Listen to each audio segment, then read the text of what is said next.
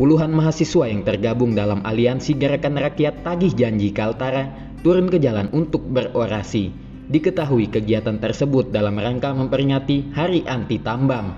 Aksi damai yang dilaksanakan pada Sabtu sore kemarin dirangkai dengan berorasi dari Simpang 4 GTM dan konvoi di Jalan Yosudarso dan kembali ke Simpang 4 GTM. Koordinator lapangan Aksi Damai Supardi mengatakan aksi ini didasari dari peringatan Hari Anti Tambang dan menyampaikan beberapa tuntutan. Supardi mengatakan Kaltara adalah rumah kita dan bukan rumah tambang. Jangan sampai rumah ini seperti kakak dari Kalimantan Utara yakni Kalimantan Timur yang sudah berlubang dikarenakan banyaknya tambang sehingga membiarkan dampak negatif bagi lingkungan. Pihak mahasiswa mengaku pemerintah harus ada transparansi terkait dengan isu pertambangan di Kalimantan Utara.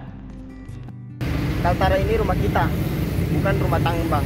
Kita tidak ingin menjadikan Kalimantan Provinsi yang termuda ini, Kalimantan Utara, sebagai pecahan Kalimantan Timur, malah sama seperti Kalimantan Timur yang saat ini di yang saat ini hancur karena banjir dan lubang-lubang tambang. Dan kita juga menuntut kepada pemerintah untuk tetap mengawal pertambangan yang ada di Kalimantan Utara. Karena kita menganggap bahwa pertambangan ini bukanlah solusi untuk mensejahterakan rakyat. Ketika memang pertambangan itu sebagai solusi untuk mensejahterakan rakyat, mungkin hari ini kita tidak harus bayar listrik. Mungkin hari ini pendidikan di Kaltara. Tui Muhammad melaporkan.